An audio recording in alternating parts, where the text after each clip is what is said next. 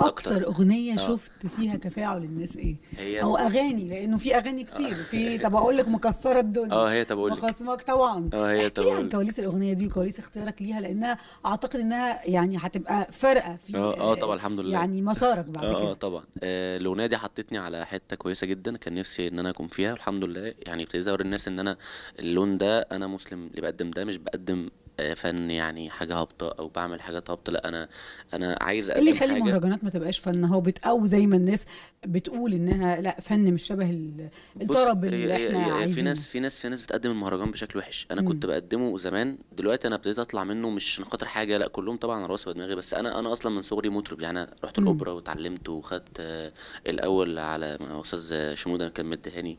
ف ف يعني الحمد لله آه أستاذ شنودة كان كان مديني الأول على ده الجمهورية. صانع النجوم. آه الحمد لله أنا عندي 10 سنين فكنت بغني.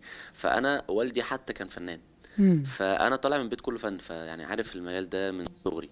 فعشان كده أنا كان لكن الراب والمهرجانات ده لون قريب من الشباب ومن آه المراهقين آه وبتوصل له يعني. بسرعة آه. آه بالذات الراب دلوقتي مسيطر عشان كده اخترته؟ ناس كتير قوي لا أنا مش بغني أنا بغني بالألوان. أنا أنا مم. عامل كده mix معين لو سمعتها هتقول إن ال mix بتاع مسلم. مم. بس. فأنا على فكرة أنا اللي بوزع نفسي وأنا اللي بكتب يعني أنا أنا اللي بعمل كل. حاجة لوحدي. أعتقد دي مش معلومة مش كل الناس تعرف. آه كتير كتير قوي حتى يعني كركوبة كانت طب أقول لك دي اللي هي أنا اللي عاملها كلها من كلماتك؟ آه من زد أنا اللي عامل كل حاجة مم.